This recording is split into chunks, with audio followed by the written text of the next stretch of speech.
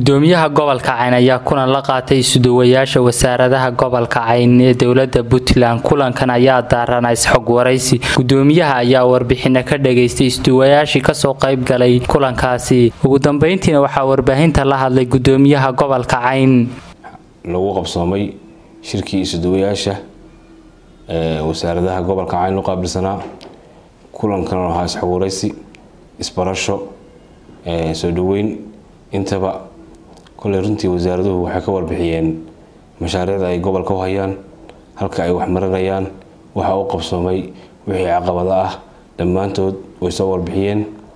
Anaguna waa ka dhageystay runtii meel wacan bay wax marayaan wasaaradaha gobolka cayn waxaanu ku boorinay dhammaan shaqada ay hayaan inay sii labalaabaan sii xoojiyaan bulshadana adeega ay hayaan ay si wacan oo hufnaan ah oo cadaalad ku jirto ay u sii gaarsiiyaan maanta waxaanu isbarasha ahayd iyo isxogwaraysi halkaasaanu ka sii ambaqaadi doonaa in adeega bulshada qof walba oo gobolka cayn iyo deegaan walba degmooyinka iyo tuulooyinka uu si wacan u gaadho.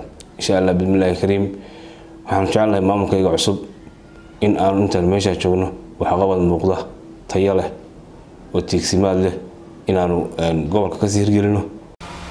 Siciid guray warbaahinta daljir buuhoodle maalgelinta bangiga salaam. Bangiga salaam waxa uu kula diyaariyaa maalgelin waafaqsan shareecada islaamka waxa uuna bangigu kuu maalgelinayaa wax kastaoo geli kara iib xalaalah sida guryaha gawaarida badeecooyin kala duwan iyo wixii la mid a alaabta uu bangigu kuu maalgelinayo lacagaheeda waxaad iskaga bixin kartaa si tartiib tartiib ah ama billo ah